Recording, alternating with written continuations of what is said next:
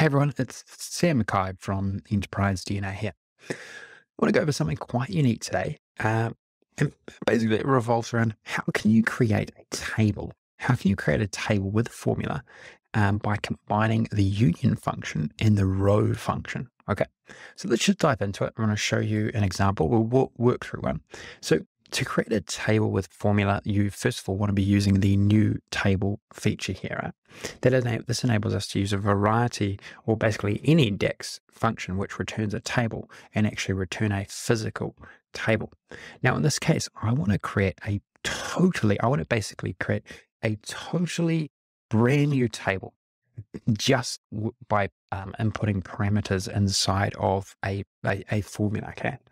And, and then I'll show you, um, you know, I'll, I'll compare it and contrast it to an alternative method that you could use and, and then try and um, let you understand, enable you to understand why you would use this in some scenarios. Okay.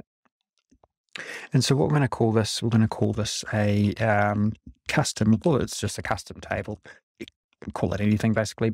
And so the first thing I'm going to do is I'm going to go, I'm going to go row here and I'm going to show what row does. And then we're going to utilize the union to actually bring it all together. So what I can do here is I can create, I can create one row of information um, on anything. So all I have to do is I have to name the column and then put inside the expression or value. Okay. And so what I might want to do here is I'm, I'm going to call this one, um, I'm going to call this group. And I'll put uh, the expression can actually just be like a, a word. So I might want to put like um, some text. I'm going to put top and then I'm going to say, okay, well, this uh, one is going to be um, the, this one the min. And we'll call this one 0.8. And then, oh, actually, no, we want, um, no, that's right. Yeah, that's right. And then we'll go max. And see here, I can just keep going. And then I'm going to call this one. Okay. And so just just in isolation, check check this one out um, and see what it returns. So you see there that just with row, we can actually return a table basically with one row. Then check out what you can do by combining this with the union. Okay. So I'm going to go union. And what union enables us to do is bang tables together. So we can bang tables one on top of each other as many as we want. Okay.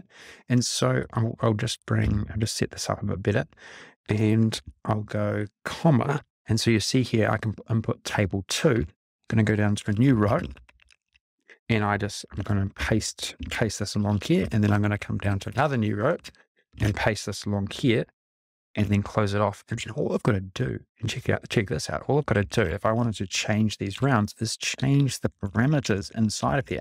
And so I'm just using some some random values here, but you could do this yourself and you could put anything in here. And then I'm going to go, this bottom, and then this is my min. And so you might have seen me go through techniques or create tables like this manually for, uh, and I've sometimes called these supporting tables. And basically, this this this would be a supporting table and some logic that we would um, put through it, and that would enable us to segment our customers or products into groups based on whatever logic we want to um, input. So now that we have these rows incorporated with Union, check out what you can check out what this table is now. So this table has been generated just by information or code that we have written inside of here. And then you see here that we now have the supporting table, which would then sit inside of our model and we could utilize it however we like. Usually I put my supporting my supporting tables down the bottom there to represent that they aren't part of the core model, but would have a logic that would run through them. Now, some of you might be thinking, well, we could have just created this by going into data, right? And and that's true. And that's very, very true. Or you could go and hit hit Excel or or hit some simple table elsewhere. But where this could be relevant, right? Where this could be very relevant is say, for instance, you want to go and grab these numbers from somewhere else in your model or somewhere else inside of Power BI and you want to do it in a sort of dynamic way. This is how on refresh, you can get this table to update with information or results which have been calculated inside of Power BI. And that's why this is so powerful. Say, for instance, you want to segment your customers based on their sales, but that sales amount changes for the min and the max. It might be a different number based on the you know average sales that your customers are making. Well, you can generate this table more dynamically by having some sort of calculation in here that goes in and breaks up your customer information based on the sales amount that is being generated or the sales amount that is you know being budgeted or, or historically being calculated etc and that's where this this particular technique is really really powerful. The other way that you could start using this as well is virtually okay? So it's not so you could actually you could actually create a table like this um, which is a basically totally made up table and input this table is a table function inside a variable, which goes inside a calculation. And so there, there is a few ways that this can be applied. And I, I think I'll work up an example of that in the near future um, to show you how this could be applied inside a measure versus actually creating a physical table. Because this is also, you know, this is absolutely fine to create a virtual table out of this as well. It's exactly the same thing, exactly the same logic, and you just have to input um, the right parameters in there. Okay, all the best. Hey everyone. Thanks for tuning in to Enterprise DNA TV. If you enjoyed the contents covered in this particular tutorial, please throw the video a like. It really helps us and we really appreciate it. Also, don't forget to subscribe to the Enterprise DNA TV channel.